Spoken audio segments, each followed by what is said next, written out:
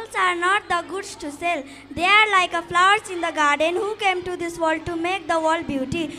With these beautiful quotations, good afternoon, respected chairperson of this program, honorable chief guest and guest and ladies and gentlemen. Today, me, Jasmine Limel Magar, is here in front of you to deliver a short speech on dowry system in Nepal.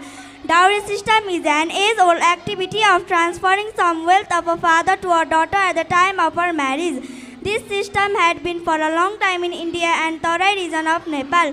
The main reason of dowry was to help settle the newly wedded. Brides were given money, land, ornaments as a gift from her parents. This was done to ensure by parents that their daughter will be happy after marriage. But with time, it became like a process of transfer of wealth from bride's family to groom's family. It has become like a curse in the society where girls' education and goodness are not counted. What is counted is the amount of wealth she can bring to the groom's family. Some brides have to face domestic violence when they are not able to give dowry. At times, girls are even pushed to the face of a death for dowry. Dowry system is a cause of pain for bride and her family. Government and common people should work together to end this evil problem from the society. With this, I end my speech. Thank you.